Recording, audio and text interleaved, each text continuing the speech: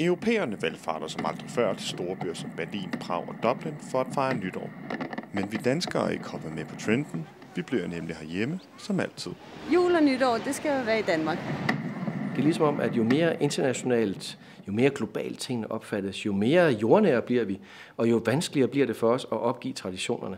Vi vil gerne se 90 års fødselsdag, vi vil gerne spise vores nytårstorsk, og ungerne skal ud og skyde noget krudt af ude i haven. Og det er som om, at det er en eller anden af de der fester, som bare ligger fuldstændig klippefast. Blandt de hallene på strøget i København er nytårsplanerne der også at fejre det nye års komme på traditionel dansk vis. Mine planer det er, at øh, jeg skal til Jylland, til Jelling, til nogle gode venner, der bor derovre, hvor jeg har fejret nytår rigtig mange år på træk. Så det gør jeg igen i år. Der skal vi være derhjemme, have noget god mad, have venner på besøg.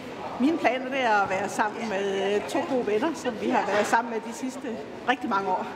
Den manglende rejseløst nytårsaften skyldes selvfølgelig Niels Folman, at vi ikke ved nok om, hvordan det nye års komme fejres uden for landets grænser. Jeg tror, vi skal se nogle flere billeder af, hvad der egentlig foregår, fordi det, vi ser 1. januar om morgenen øh, efter nytårskoncerten med Wiener Philharmonikerne, det er jo billeder af de samme øh, raketter fra syv forskellige store pladser øh, rundt omkring i Europa. Og det er altså ikke, øh, det er ikke fængsel nok til at få lukket folk ud. En af de byer, der byder på en anderledes nytårsoplevelse, er Dublin. Og ifølge Rikke Ågaard Petersen fra Tourism Ireland, er der mange gode grunde til at fejre nytår udenlands.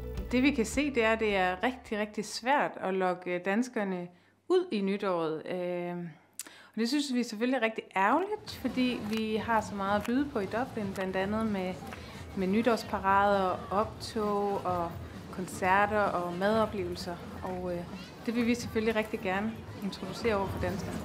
At det er en god idé at fejre nytåret i udlandet, er der dog delte meninger om. Øh, Det tror jeg ikke, jeg har lyst til.